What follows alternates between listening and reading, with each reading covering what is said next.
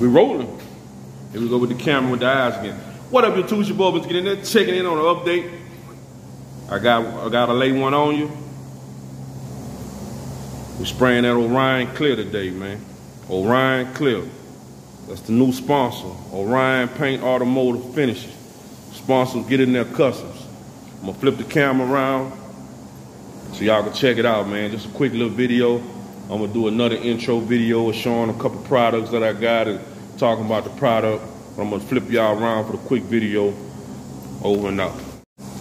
what up, YouTube? Your boy, Mr. Get in there, faded back.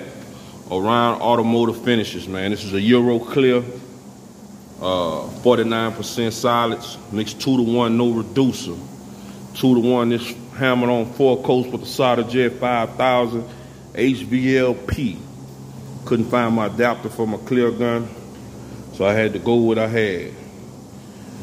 I didn't feel like searching for none of the other stuff, so it's uh this four coat smashed on.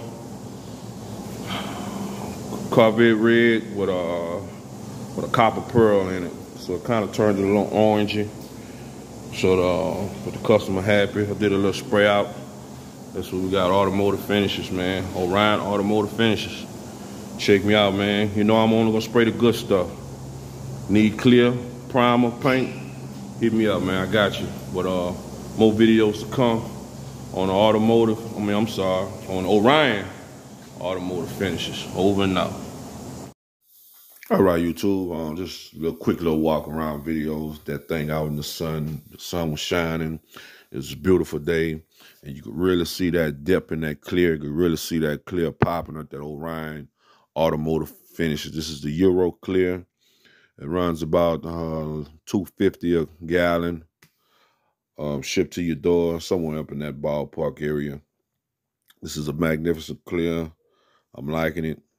I got a few more projects on the chopping block to spray.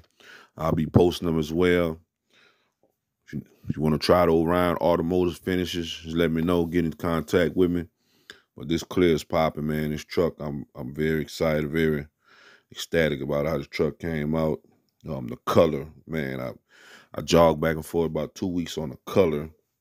Finally came up with something, little spray. I whipped up something. Came out real nice. So appreciate y'all. Y'all stay locked, get in there customs. Over and out.